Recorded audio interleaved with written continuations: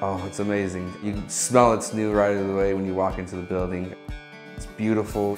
All new furniture, all new appliances, everything just looks amazing. There's some really cool spaces like study rooms that are soundproof. There's common spaces where students can hang out and enjoy their time together. There's a nice kitchen, even has a double oven. The bathrooms are set up where it is single users, where they're all in gender inclusive restrooms. And then there's also the environmentally friendly side of this building. We have the potential to be the first LEED Platinum certified residence hall in the state of Pennsylvania and one of the leaders in the nation. You know, one of the first things that jumps out is very efficient LED lighting throughout the building. The landscape and design is very obvious when you're coming up to the building. There's over 17,000 plants here. Upon entering the building, you'll see there's a bike storage room with indoor bike parking for 46 bikes. It's amazing to live here. I'm fortunate. The only downside is I am a senior and I'll have to move out at the end of the year.